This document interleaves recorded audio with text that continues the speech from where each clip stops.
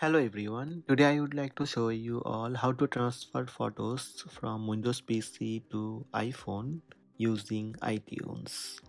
Let's have a look. First, open iTunes on your computer. If you don't have iTunes installed, you can download it from Apple website. Open iTunes and click account from top menu. Then click sign in. Enter the Apple ID that you are using in your iPhone. Then enter your Apple ID password. Click sign in.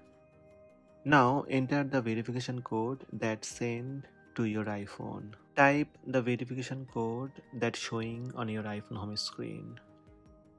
Then click continue. Now you need to authorize your Windows PC. So click account then click authorization. Click authorize this computer. Again enter your Apple ID password and click authorize. Grab your iPhone and plug one end of the USB cable into it. The other end goes into your PC's USB or USB-C port. When your PC connected with your iPhone, click device icon then click photos.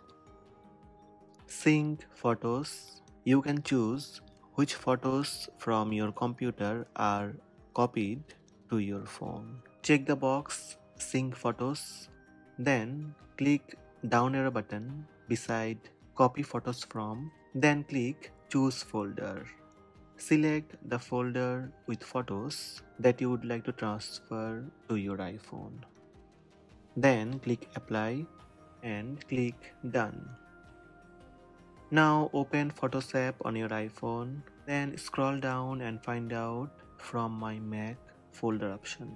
Here you will see all of your transferred photos. So these are the steps to transfer photos from Windows PC to iPhone using iTunes.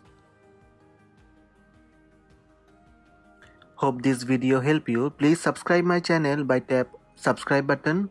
Also tap the bell icon to receive notifications about all new videos.